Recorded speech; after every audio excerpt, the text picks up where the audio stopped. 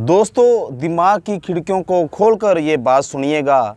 जिन रिश्तों पर आपने पाँच से दस साल पहले इन्वेस्टमेंट किया ना इन्वेस्टमेंट का मतलब पता है क्या है?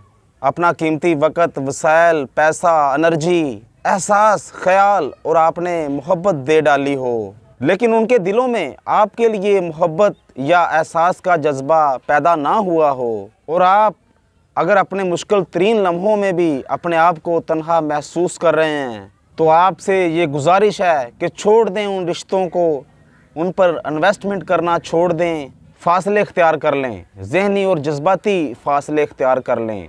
उस जगह पर ही ना जाएँ जहाँ वो आपको नज़र आते हैं, आपको मिलते हैं।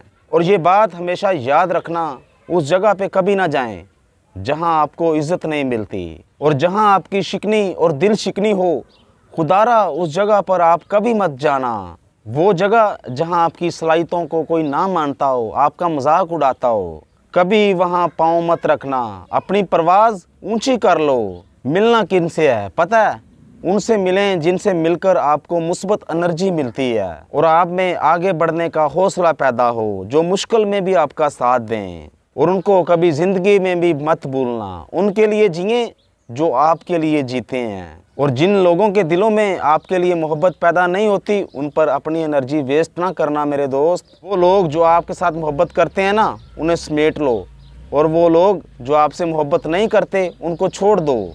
सच के लिए जीना शुरू कर दो। ज़िंदगी बहुत ही खूबसूरत है। अपने लिए जिए, जो आपके साथ मोहब्बत करते हैं, उनके लिए जिए। अपना और अपने साथ जुड़े रिश्तों का ख्याल रखिएगा। अल्लाह निगेबान।